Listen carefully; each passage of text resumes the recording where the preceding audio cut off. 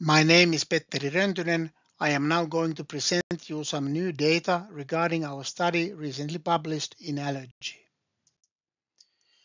In our primary study between years 2017 and 2020, we performed 106 open cashew nut challenges to cashew nut sensitized children aged 1 to 16 years, of whom 72 children reacted in the challenge. 47% of patients experienced an anaphylactic reaction during the primary challenge. 59 children participated in the three-year follow-up study.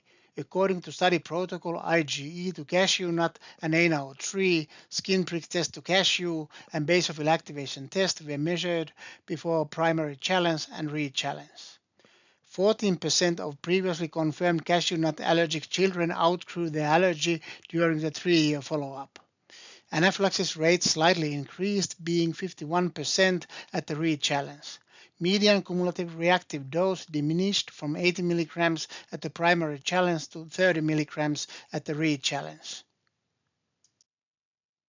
Tolerant children had significantly greater percentage decrease in cashew nut IgE, Ana o 3 IgE, and in BAT percentage. Percentage change in skin prick test to cashew did not differ significantly between the allergic and tolerant patients. The optimal cutoff levels to predict the clinical resolution of cashew nut allergy in this study population are presented here. For example, 50% decrease in Ana o 3 IgE yield 100% specificity and 76% sensitivity to predict negative cashew nut challenge. Thank you for your interest.